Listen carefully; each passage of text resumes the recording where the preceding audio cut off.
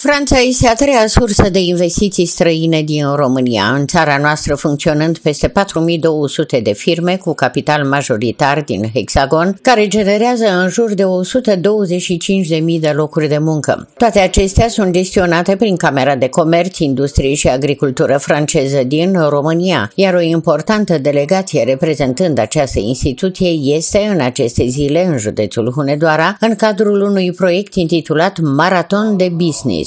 Membrii delegației s-au întâlnit cu reprezentanții administrației publice locale și județene, dar și cu oameni de afaceri hunedoreni, astăzi la Deva, în cadrul unei mese rotunde desfășurată la Inspectoratul Școlar Județean. Dinspre partea franceză vin semnale pozitive, întrucât aceasta consideră atât Deva cât și județul Hunedoara drept atractive din punct de vedere al afacerilor și speră ca acestea să se dezvolte. Aici este o ocazie de business.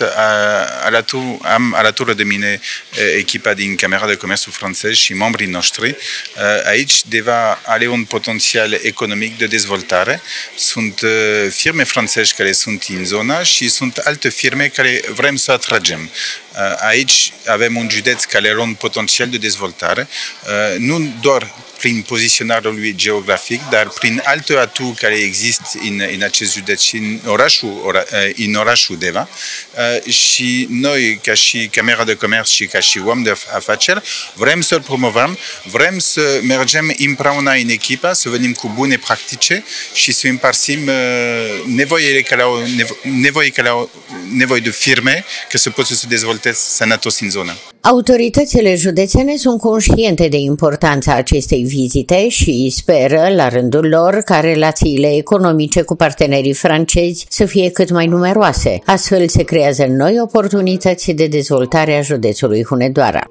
Instituția prefectului eh, este onorată să primească această vizită a Camerei de Comerț și Industrie franceză împreună cu reprezentanții celor mai importante firme franțuzești care activează pe teritoriul României și dorim să ne prezentăm județul, să-i atragem cu investiții în județul Hunedoara, să dăm uh, exemple de bune practici în ceea ce privește investițiile franceze în județul Hunedoara și împreună cu toți factorii de decizie și am invitat aici uh, pe lângă instituția prefectului Consiliul Județean, instituțiile de concentrate care sunt agrenate în procedurile de avizare a investițiilor, să încercăm să facem niște parteneriate pentru dezvoltarea județului Hunedoara. În ceea ce îi privește pe reprezentanții autorităților publice locale din județul nostru, aceștia au asigurat partea franceză de tot sprijinul lor. Acest lucru se va concretiza prin realizarea de investiții publice în domeniul infrastructurii și toate facilitățile care se pot acorda prin lege.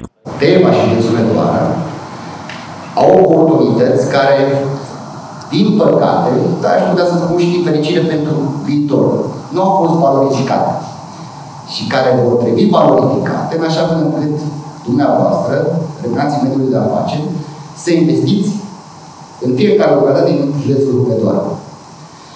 Dar ca să puteți investi, și aici intervine rolul administrației publice locale,